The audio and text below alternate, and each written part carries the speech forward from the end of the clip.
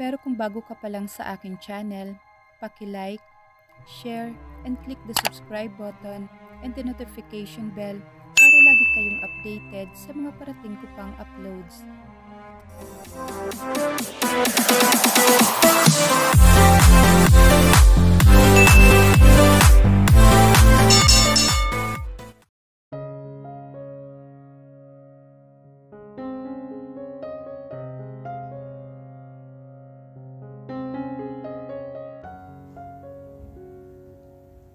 Maagang nagising si Gavin ng umagang iyon. Ang totoo ay hindi siya nakatulog. Tiningnan siya ni Larry na mahimbing na natutulog sa tabi niya. Hindi siya makapaniwalag na gawa niya yon kay Laren. Ngunit wala siyang pagsisisi. Ginusto niya ang nangyari. Lasing man siya o hindi, alam niyang ginusto niya yon. Pagkatapos niyang malaman na birhen pa ito, hindi na siya nagdalawang isip na itigil ang ginagawa niya kahit huli na ang lahat dahil may nangyari na sa kanila. Iyak ng iyak si Laren habang paulit-ulitong nagmamakaawa na tumigil siya hanggang sa ito'y makatulog sa kakaiyak. Hinaplos niya ang pisngi ng asawa at ayun na naman ang pakiramdam na pilit niyang inaalis sa sistema niya. Pakiramdam niya ay may kung anong nabubuhay sa katawan niya sa tuwing maglalapat ang mga balat nila. Ramdam niya ang kuryenteng dumaloy sa katawan niya na nagbibigay sa kanya ng kakaibang pakiramdam. Agad niya tong binitawan na maramdaman ang pag-iinit ng kanyang katawan. Ano bang meron sa babaeng to? At ganun na lang ang reaksyon ng katawan niya. Pinilig niya ang ulo at winaksi sa isip ang mga iniisip niya. Kailangan na niyang umalis. Baka kapag nagtagal pa siya dito, baka kung ano pang magawa niya. Maingat siyang bumangon at nag-ayos ng sarili. Pero bago siya lumabas, dinamitan niya muna si Laren. Pababa na siya na makasalubong niya si Manang Linda na paakyat ng hagdanan. Nakakunot ang noo at tila may hinahanap. Gavin, nasaan si Laren? Saan siya natulog kagabi? Wala siya sa kwarto niya. Sunod-sunod na tanong nito sa kanya. Napaiwas siya ng tingin. Nasa kwarto ko siya manang at kung magising siya, pakidalhan na lang ng pagkain. Ano? Bakit siya nandoon? Ano na namang ginawa mo sa kanya? Bakas ang pag-aalala at galit sa mukha nito, mas lalo siyang nag-guilty. Sige na manang, wag na maraming tanong, aalis na ako. Pagkasabi niyon, ay mabilis na siyang umalis at iniwan ang ginang na naguguluhan sa inasta niya Mabigat ang loob na pinuntahan na lang niya si Renzo. Bro, aga natin ah. May problema ba? Tanong niya habang hinahalong inuming hawak niya. Malaki pare. Naiiling na sagot niya sa kaibigan, sabay inom ng beer nang inabot nito. Ano to? Tiningnan niya ito. Nag-aalangan kung sasabihin ba niya. It's about my wife, Laren. Anong meron sa kanya? Gusto mo na ba siya? Uy, aminin mo. Gusto mo ng asawa mo, no? Tudyo nito sa kanya. Tumigil ka nga. Uminom ulit siya bago nagsalita. May nagawa ko sa kanya na siguradong hindi mo gugustuhin marinig. What? His eyes winded in shock. What did you do? Sinaktan mo na naman ba siya? Ikaw, Gavin, ha? Sinabi na wag mong gagawin yon. He sighed. But I did. And this time sumobra ako. I didn't mean to do it. Hindi ko lang taga napigilan ang sarili ko. What? Nanlalaki ang mga matang tanong nito. Anong ginawa mo? Sabihin mo. May nangyari sa amin. Diretso niyang sabi, walang paligoy-ligoy. Natahimik si Renzo na parang pinoproseso pa nito sa utak ang narinig. Really? Pero teka, paano nangyari yon? Hindi mo naman siya pinilit, di ba? Kumuyom ang kamao ni Gavin. Guilty. I did. I forced her, Kenzo. I forced her to do it. Putik. Natampal ni Renzo ang noo, saka inis na tiningnan siya. Pare, ano ka ba naman? Hindi ka ba nakontento sa pananakit mo sa kanya? Tapos ngayon pinilit mo pa siya sa isang bagay na ayaw niya? Renzo is always like that. Kapag alam nitong mali siya, palagi siya nitong tinatama. Well, he's Renzo and his best friend. Alam ko. Eh paano na ngayon yan? Anong gagawin mo? How about si Lynn? Kung mahal mo si Celine, hindi mo magagawa yun kay Laren. I don't know. Hindi talaga niya alam. Blanco ang isip niya. Wala siyang mahanap na sagot sa isip niya. You don't know? Grabe. Umiling-iling ito, saka walang sabi-sabing ininom ang beer na nasa harap nito. Huh! Ang sarap. Hindi ko naman nauulitin eh. Kabuntong hiningang tugon niya. Pagkatapos ng nangyari sa kanila ni Laren, parang natakot na siyang saktan ulit ang asawa niya. Totoong sumobra siya sa ginawa niya. Talagang hindi na dapat maulit ang ginawa mo. Singhal nito sa kanya. Pambihira, hindi ako makapaniwala. Napayuko siya, wala sa sariling napatitig siya sa hawak na beer. Ever since I married her. Mahina, ngunit sinserong aniya. What? Pabagsak na binaba ni Renzo ang hawak na beer. Hindi ko na alam ang sasabihin ko sa'yo. Sana masaya ka sa ginawa mong pananakit sa asawa mo. At sana rin, hindi mo pagsisihan na sinaktan mo si Laren. Hindi niya pinakinggan ang sinabi nito. Nagpatuloy lang siya sa pagsasalita. Wala kong ginawa kundi saktan siya. Hindi ko siya pinakinggan. Sarili ko lang iniisip ko. Mahinang bulong niya, ngunit alam niyang naririnig yon ni Renzo. I'm asshole for hurting her like that. I'm so stupid. Buti alam mo, pumirma siya. Alam ko na yan. Pagkatapos niya magpakalasing sa bahay ni Renzo, umuwi na agad siya, pero hindi sa bahay nila ni Leren kundi sa kondo niya. Hindi pa niya kayang harapin si Leren sa ngayon. Sigurado naman siyang hindi rin ito gustong makita siya pagkatapos ng ginawa niya dito. Hoy, ikaw! Nagulat si Gavin na bumungad sa harapan niya si Celine. Hindi niya namalaya na nasa tapat na pala siya ng unit niya. What are you doing here? Naliliyong tanong niya rito, ngunit tinaasan lang siya nito ng kilay dahil sa tanong niya. Well, I'm here to visit you because you're not answering my calls. Nakapamewang na sabi nito. I'm sorry about that. I was just busy. Paliwanag niya rito na sana'y paniwalaan nito. Busy of what? Madilim ang mukhang tanong nito. Tila hindi nito nagustuhan ang sagot niya. Pabuntong hiningang binuksan niya ang pinto ng kondo bago ito sagutin. Just busy. Pasok ka. Nauna siyang pumasok at pabagsak na naupo sa couch. Answer me, Gavin. Ano ba talagang nangyayari sa'yo? Hindi ka naman ganito dati ah. Pwede ba tumahimik ka na muna? Sigaw niya. You feel irritated all of the sudden. Kung ayaw mo mag-away na naman tayo, tumahimik at iwan ako. Tumayo siya at diretsyo sa kwarto. Nagkulong siya upang iwasan ng kasintahan. Babe, I'm sorry please. Mag-usap tayo. Rinig niyang sigaw nito mula sa labas ng pinto. Celine, can you please leave me alone? Huwag muna tayo magkita. What? Why?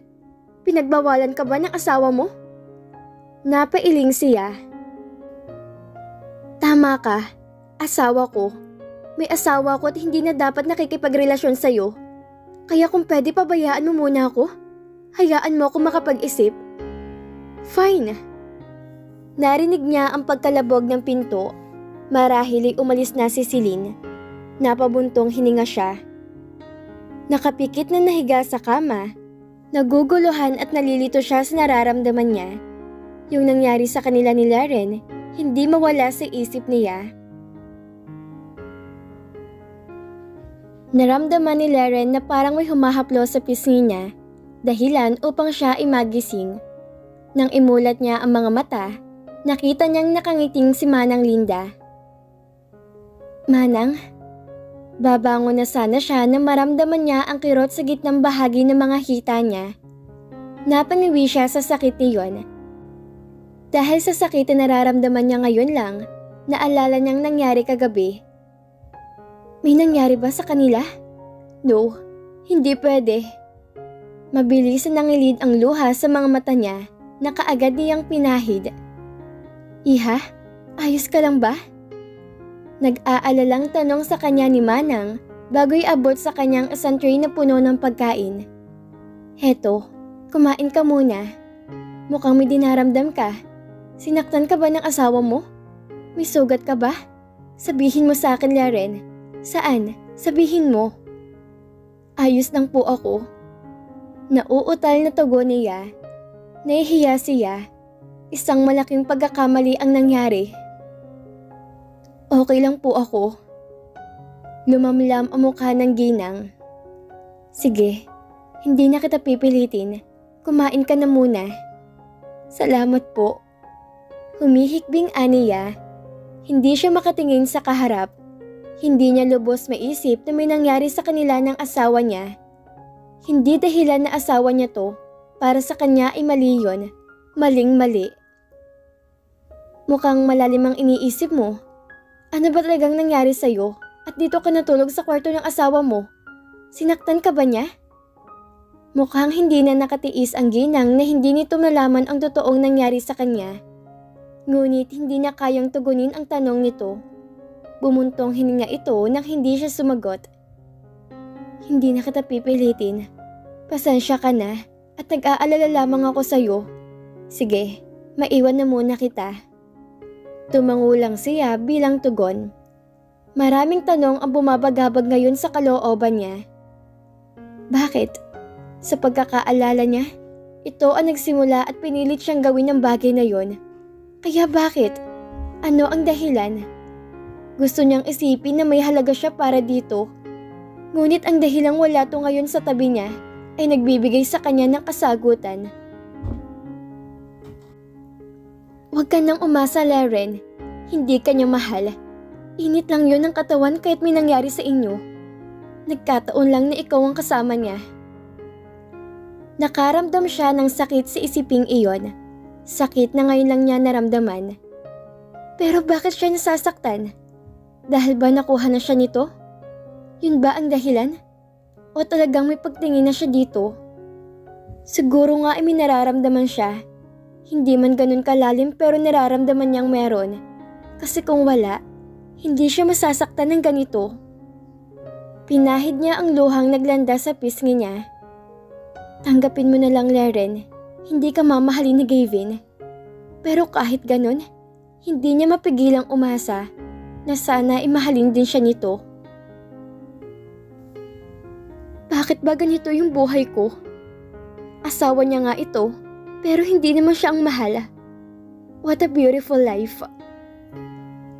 Pagkatapos kumain, niligpit niya lahat ng pinagkainan. Tatayo na sana siya nang muling maramdaman ang kakaibang sakit na yon sa gitna ng hita niya. Ganito ba talaga kasakit yon kapag first time? Nakakainis. Hindi pa yata siya makakalakad na maayos. Inayos niya ang bedsheet ng kama, ngunit natigilan na mapansin ang bloodstain doon. Namula ang pisngi niya sa isiping iyon ang pruweba na nakuha siya ng asawa niya. Mabuti na lang at hindi ito nakita ni Manang. Nakakahiya kapag nagkataon. Sa ngayon, hindi pa siya handang magkwento kay Manang. Sigurado siyang mas mag-aalalang ito sa kanya. Nang makitang maayos na ang silid ni Gavin, bumaba na siya upang hugasan lahat ng pinagkainan niya. Nakita niya si Manang na abala sa pag-aayos ng mga kortina sa sala. Lalampasan na sana niya to para hindi na siya matanong nang tawagin siya nito. Laren! Tawag nito sa kanya sabay lapit. Ako na dyan. Ako na po. Tanggi niya habang nakayuko ang ulo. Natigilan si Manang Linda. Okay ka lang ba, Laren? Mabilis na tumango si Laren. Okay lang po ako.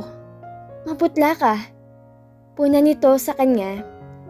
Po, Pinakiramdaman niya ang sarili at noon niya lang napansin na medyo masama ang pakiramdam niya. Laren, ako nang bahala dyan. Magpahinga ka na lang sa kwarto mo. Sige po, salamat. Tumango siya dito upo pumunta sa kwarto niya at doon pinakawalan ang kanina pa niyang napinipigilang hininga. Napahawak siya sa kanyang dibdib saka pinakalma ang sarili. Nahiga siya sa kama upang magpahinga Ngunit hindi naman siya makatulog dahil kakagising niya lang. Ilang oras din siyang nakatulala sa kawalan nang marinig niya si Manang. Leren, dinalhan na kita ng pagkain. Papasok na ako ha? Opo. Sagot niya, nakahiga pa rin. Na makapasok ito, nilapag nito ang pagkain sa tabi niya. O heto, kumain ka. Nag-aalala ako sa iyo kasi hindi ka lumalabas ng kwarto mo. Pasensya na po kayo. Masama lang po talagang pakiramdam ko.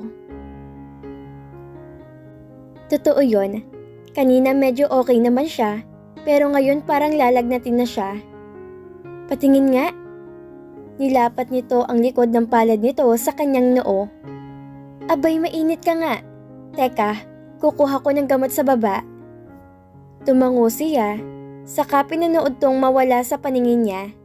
Napangiti siya sa isiping maswerte siya dahil kasama niya si Manang Linda. Kahit paano, ay may karamay siya. Sa isiping iyon, unti-unting nawala ang bigat sa dibdib niya. Isang linggo na ang lumipas simula nang may mangyari sa kanila ni Gavin. At isang linggo na yon, hindi ito umuwi. Hindi na niya alam kung anong iisipin Siguro hindi to na-satisfied sa kanya kaya hindi to umuwi.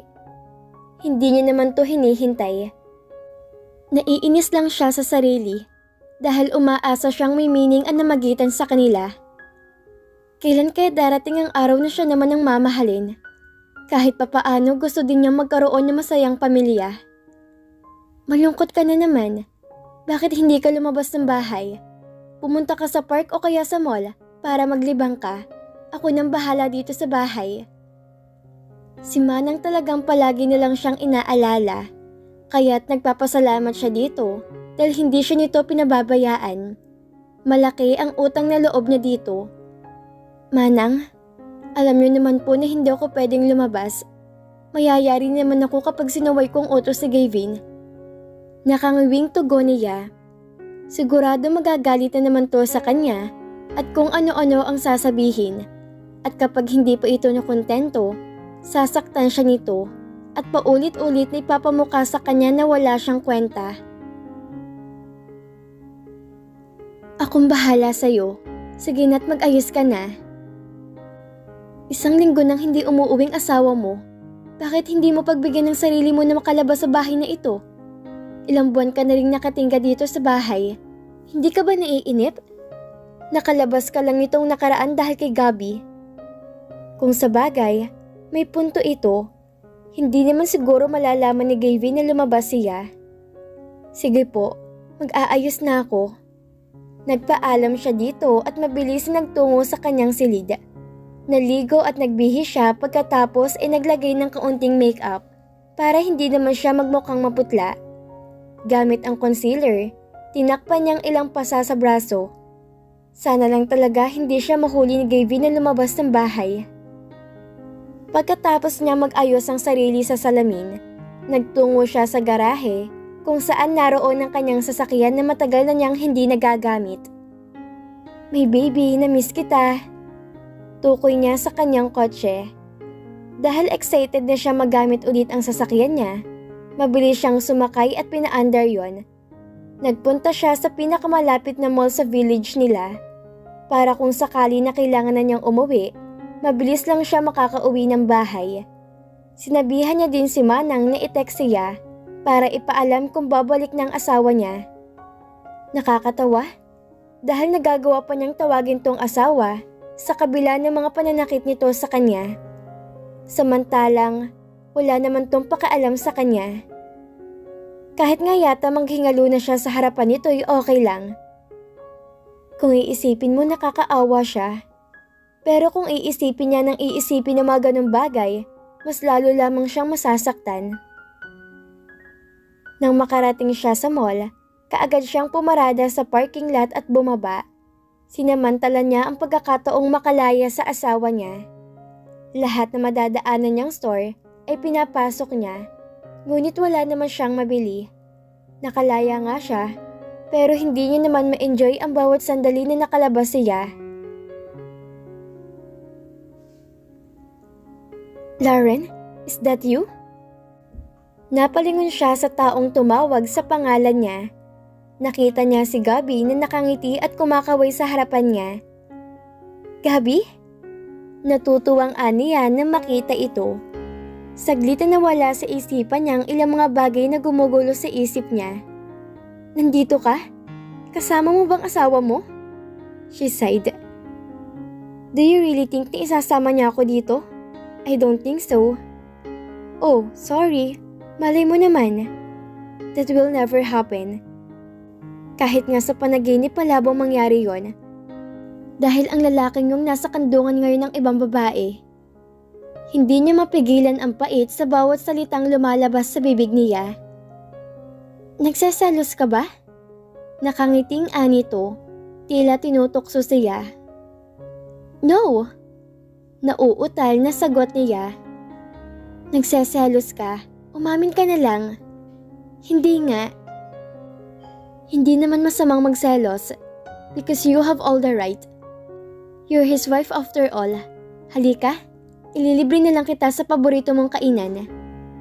Inakbayan siya nito at hinila patungo sa lugar kung saan ang paborito daw niyang kainan. Seriously? Hindi makapaniwala ang aniya sa binata. Dinala siya nito sa isang fast food chain. And it's Jollibee. Yes, right. That's her favorite fast food chain. But when she was a little, not anymore. Why here? Tanong niya, ngunit hinila na siya nito papasok.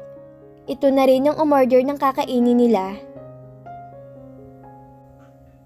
Bakit dito? Ulit na tanong niya Maiinis na talaga siya dito kapag hindi pa to sumagot. Hey, relax! Dinala kita dito dahil dito bida ang saya para sumaya ka naman. Akala mo ba hindi ko napapansin kanina na malungkot ka? Huwag mo nang itago. Alam kong hindi ka masaya. Sinabi ko naman kasi sa'yo na iwan mo na siya. Ani to na makahanap sila ng mauupuan. Hindi naman ganun kadaling pinapagawa mo sa akin Kasal pa rin ako sa kanya. Umiling-iling ito. Yes, kasal kayo. Pero tama bang naging trato niya sa'yo? Hindi naman, di ba? Pinabaliwala ka niya, Laren. Kung gugustuhin mo lang, kaya mo. Kaya mo siyang iwan. Unless mahal mo na siya. Natahimik siya. Napayuko siya sa sinabi nito. Tama naman kasi to. Napanguso siya. Nakakainis wala siyang maitago pagdating kay Gabi. Lahat nalalaman nito. Huwag ka magpout. Anito, baka mahalikan kita pag ginawa mo ulit yon. Napatingin siya dito. Nanlalaki ang mga mata. I know you can't do that. Hamon niya. How sure are you? Seryosong anito. Gabi? Tinukso lang siya nito. Yun lang yon. Paulit-ulit niyang tinanim sa isip na biro lang ang sinabi nito. I like you, Laren. I really do like you. Matagal na kitang gusto pero mas gusto ng parents mo si Gavin para sa'yo. Kaya kahit masakit nagparaya ako, kasi akala ko sasaya ka sa kanya. But I'm wrong, dahil sinasaktan ka lang ng asawa mo. Kitang-kita niya ang galit sa mga mata ng kaibigan. Nasasaktan ako dahil alam ko nasasaktan ka.